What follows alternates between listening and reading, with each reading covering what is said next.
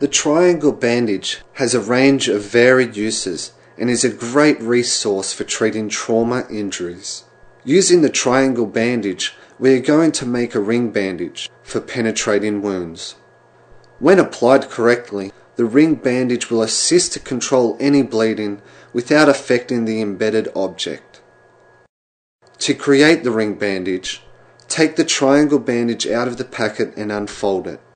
From the longest ends, roll the bandage up and take hold of one end with a medium length tail. Wrap the remainder of the bandage around your hand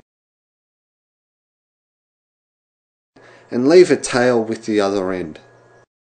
Remove the bandage from around your hand, take one of the tails and start to weave it in through the center, around the outside and back through again.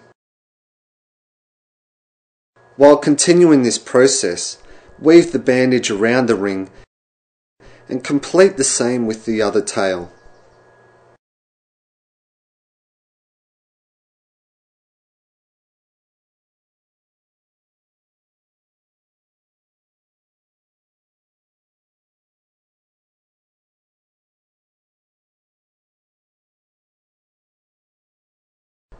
Once completed, place the ring over the penetrating object and then use a roller bandage to hold it in place.